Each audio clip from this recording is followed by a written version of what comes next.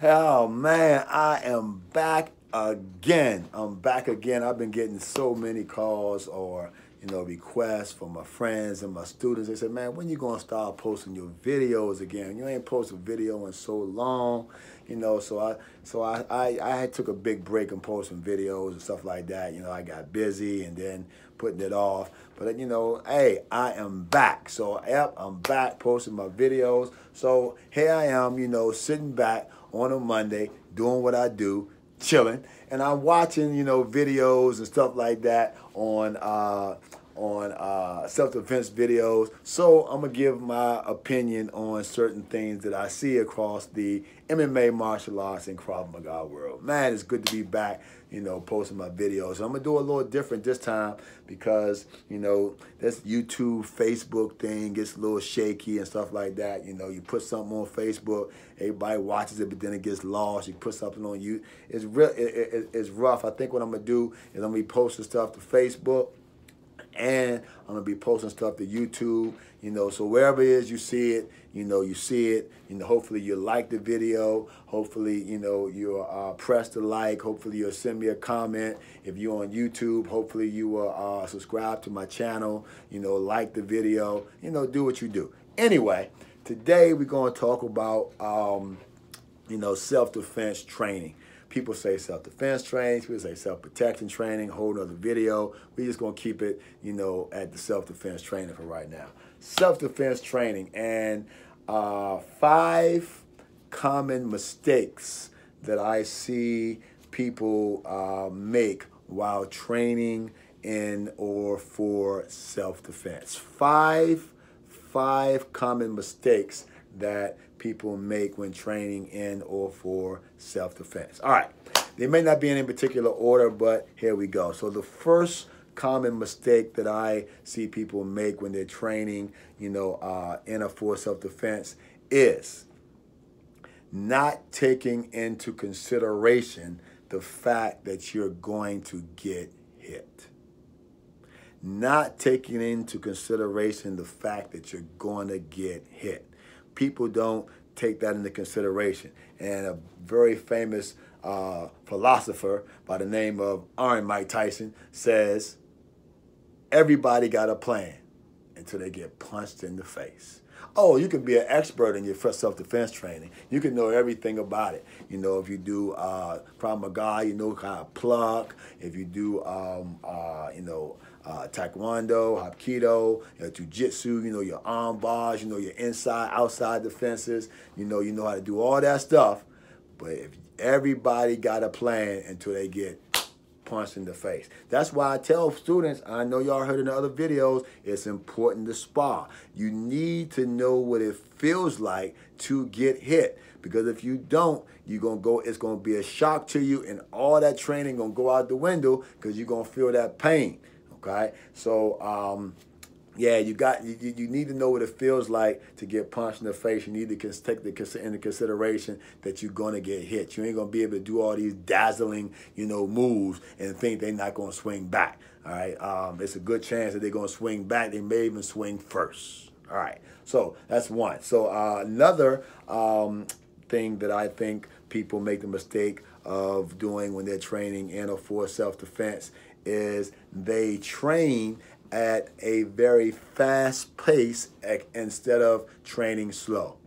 This is big. I see it all the time. Is people do their defense and choo choo choo choo choo choo choo boom boom boom boom boom boom boom boom boom ah. They do all this very very fast fast fast things, and they never um, are able to uh, uh, slow it down. Slowing it down does so many good things. Number one, you get that muscle memory you don't really get the muscle memory as well if you're going fast. You get that good muscle memory from doing slow work, okay? You learn better, you learn more. Um, uh, it's safer. It's safer, you know. If you're going, if you're doing all fast training, you may hurt yourself. You may hurt your training partner. Okay, nothing Nothing, nothing in life that you do, you learn fast first. You always have to learn slow. So uh, that's another huge training mistake that I see people make. They never slow it down. Learn slow, train slow, learn slow, practice slow.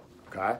Which brings me to the next thing, my third thing, and that is people practice slow, but they never practice fast. They train slow, but they never practice fast. So this is also a mistake. I have made it. I just made it, as a matter of fact, because I always said that if you can do it slow, you can do it fast. And if you can do it, but you can, if you can do it fast, that doesn't mean you can do it right. Okay, well, that's not true. If you can do it fast, that don't mean you can do it right. But if you can do it slow, that don't mean you can do it fast. I found out that the hard way. Last year, I trained for my my second Dan um, Krav Maga uh, uh, belt, my second Dan black belt in Krav Maga, and I didn't even I didn't I didn't pass it. And I'm gonna tell you, I know what I did wrong. I know what I did wrong. Okay, I trained for the whole year at a very slow pace very slow learning pace. I wanted my, my technique to be sound. And I trained slow, I practiced slow. Now I did a lot of cardio and conditioning and stuff like that, work on the side to offset my training, but I never trained the, the, the techniques in a, in, in, a fast pace. I was told that I was talking to one of my uh, chief, my head instructors, um, out in Columbia, uh, Jeff Mountain. Jeff Mount said, yeah, practice slow, that's good, but you got to practice fast too. And I heard him, but I never did it, you know. Um, so by the time I got to the test, you know, um, I, I, I, did slow work and then boom, they said go, and I turned that bitch up. I was going about 110 miles an hour, and I was missing. My timing was off, my everything was off, and by the time I figured out what I was doing wrong, it was too late. I was already too too far behind. It was a disaster, but I learned a lot.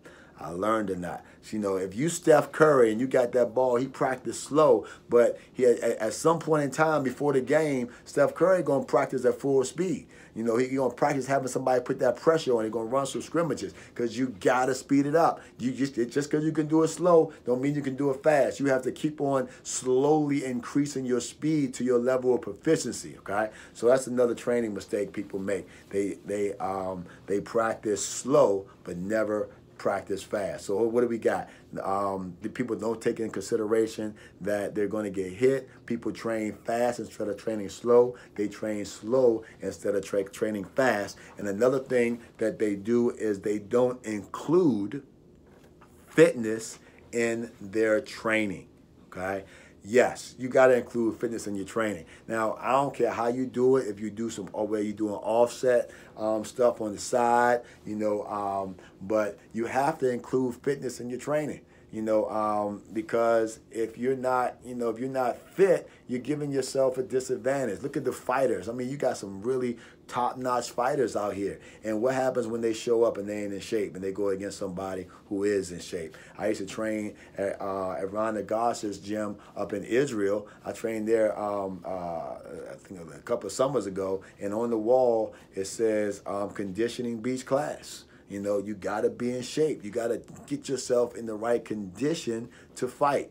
You know, so um, a lot of I get people call me and say, look, I don't really into the fitness part. I just want to learn some techniques, a couple techniques to get me out of situations. I say, nah, man, you got it all wrong. You got to intertwine those things. Those things are married. You need to include, not including what what sport combat sport or any other sport do you know they do without a fitness program? Uh, basketball, you know, fitness football, fitness, boxing, fitness, MMA, fitness, you know, um, uh, uh, sports karate fighting, fitness. You have to, so self defense, you got to include fitness in your training. So that's very important, okay? Now, and here is the last thing um, that uh, I want to say. What do we go over? We said you got to consider the um, uh, the punch. You know, you got you gotta you gotta train uh, um, uh, you train tra train slow and not fast. You gotta train fast and not always slow. You have to um, include fitness in your training.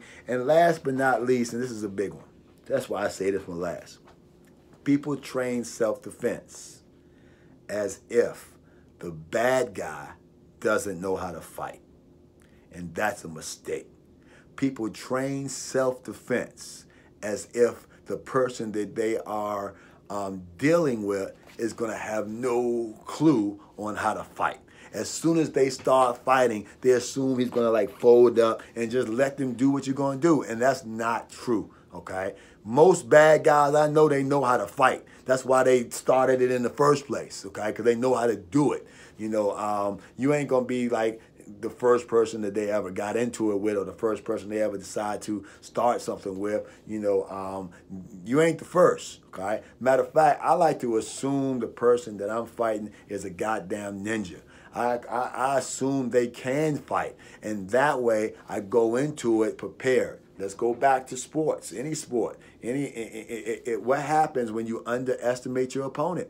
If you underestimate your opponent, it's usually not good for you. I don't care how good you are. You do not underestimate your opponent. You know, you go underestimating your opponent and bad things happen. The greatest of all times have done it. Muhammad Ali under, he done some underestimating before, and it, and it didn't end well for him. You know, um, you, and all of them. You know, you gotta assume that they're good, and that way you're prepared. If they're not, easy day. If they're good, if they are, then uh, you know you're prepared.